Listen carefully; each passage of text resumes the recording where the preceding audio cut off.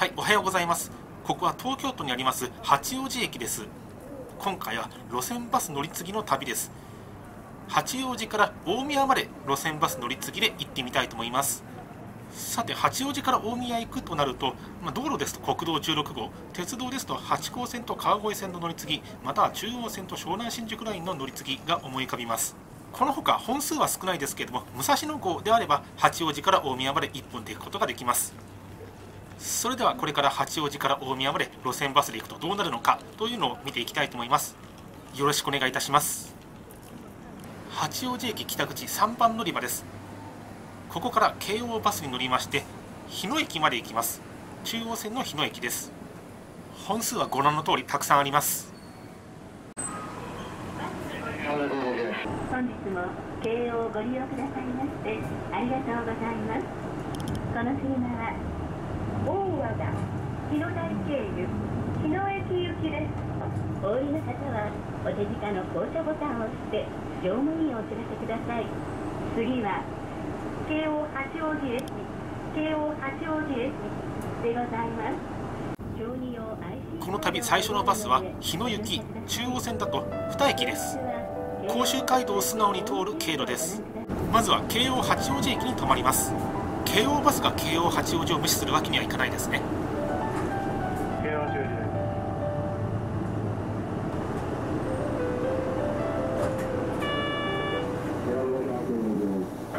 京王八王子駅を出まして甲州街道に入ります。国道20号です。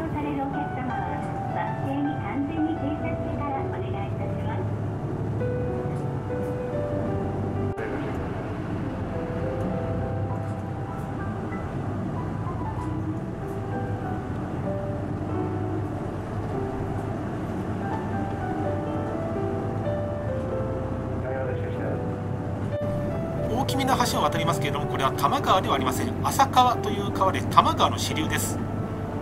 この浅川を越えますと八王子の中心部からは出る感じになります。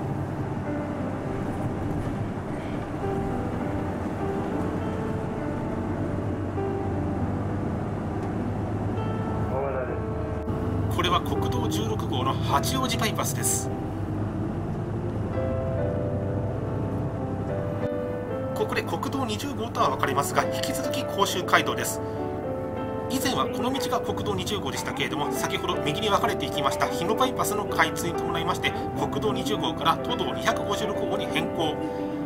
管理が国から都に移管されました。日野市に入ると道が狭くなります。右手にはコニカミノルタがあります。あとは日野自動車もこの付近であります。ご乗車ありがとうございます。次は終点日野駅日野駅でございます。まもなく終点の日野駅。これは中央自動車道です。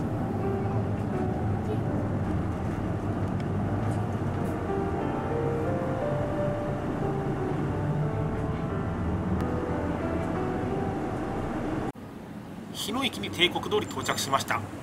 中央線の日野駅のホームが見えます。甲州街道です。この地図はまだ古いのか国道20号のままになっていました。次は立川駅に向かいます。日野駅からこのオレンジ色の経路ですね。素直に甲州街道をまっすぐ通るわけではなさそうです。少し遠回りしそうですけれども立川駅北口行きです。本数は1時間に1本あるかどうかです。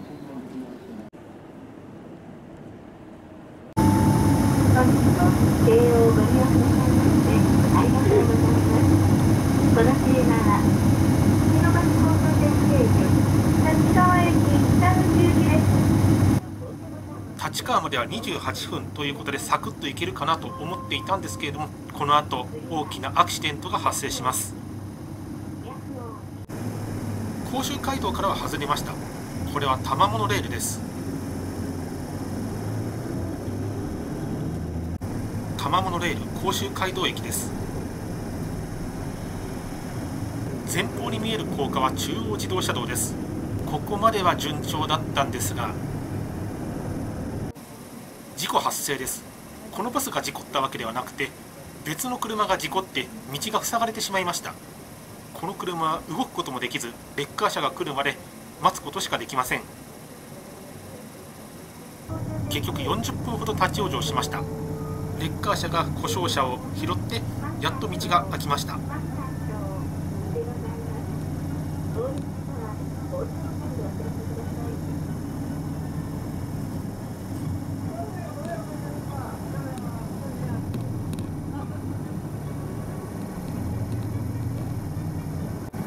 と解放されました。警察車両もたくさん来てましたね。しかしこれで計画は大きく狂ってしまいました。甲州街道に復帰しました。多摩川を渡ります。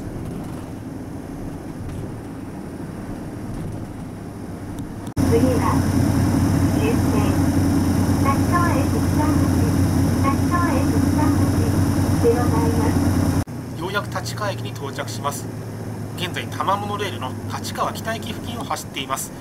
立川駅周辺も渋滞しましたのでさらに遅れが拡大しました。約1時間遅れで立川駅に到着しました。まあ、通常ですと30分ほどで行きますので1時間半ほどこのバスに乗っていたことになります。お尻へのダメージも大きいものでした。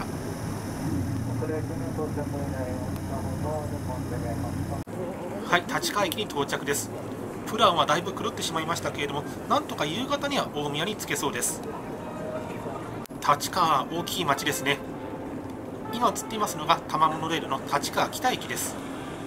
次は多摩を縦断します。久米川駅行きのバスに乗ります。バス停は行列ができていました。1時間に4本程度の本数です。バスはちょっと遅れて到着しました。久米川駅行きです。大変お待たせいたしました。ご乗車ありがとうございます。このバスは東大和市大和第三小学校東京街道脱西部久米川駅行きでございます。久米川西武新宿線の駅になりますけれども多摩地区を縦断するような経路になります。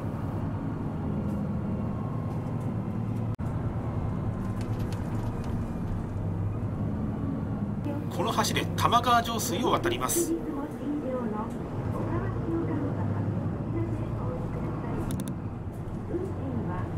これは西武拝島線の東大和駅です。東大和駅に立ち寄ります。ロータリーの中に入ります。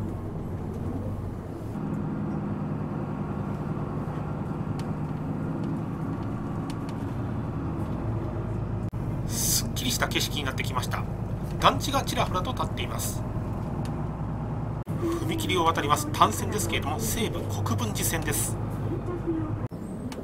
今度は西武多摩湖線の八坂駅です。西武園遊園地にアクセスする路線です。終点は以前は西武遊園地という名前だったんですけれども現在は多摩湖に駅名が変わっています。また渋滞に巻き込まれてしまいましたけれどもようやく久米川駅に到着です。今回は7分ほど遅れました。片側1車線の道ばかりだったせいか渋滞していました。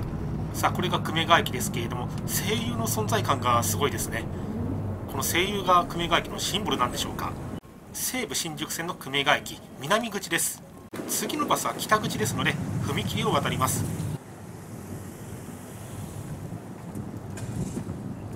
久米川駅北口です。今回の動画はここで終わりにしたいと思います。次回は久米川駅から大宮に向かっていきます。それではご視聴いただきありがとうございました。チャンネル登録高評価 Twitter のフォローよろしくお願いいたします。